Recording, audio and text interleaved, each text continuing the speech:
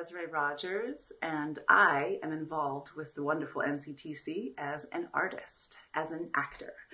You may recognize me from Jewelle Gomez's Waiting for Giovanni or her Leaving the Blues, where I played Alberta Hunter. Or you might recognize me from Ed Decker and Robert Leone's Rites of Passage, where I played multiple characters, or Tim Pinckney's Still at Risk, or the last play that I was at in in NCTC, Jordan Tannahill's Late Company. I played Deborah.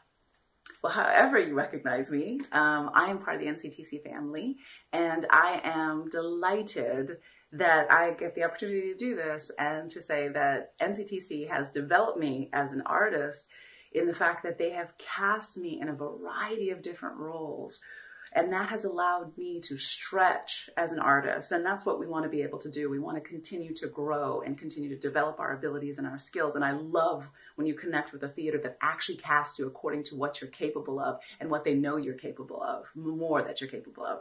So, um, on behalf of NCTC, I would like you to please make a gift to NCTC for Give Out Day go to giveoutday.org and search for NCTC. So that is G I V E O U T D A Y dot O R G. Especially with this time with COVID 19 going on, it is so important to contribute to the theater. It's so important to continue to be able to get these incredible, amazing shows that they do up so people can see them, they can embrace them, and we can all grow and learn from them and be changed and entertained.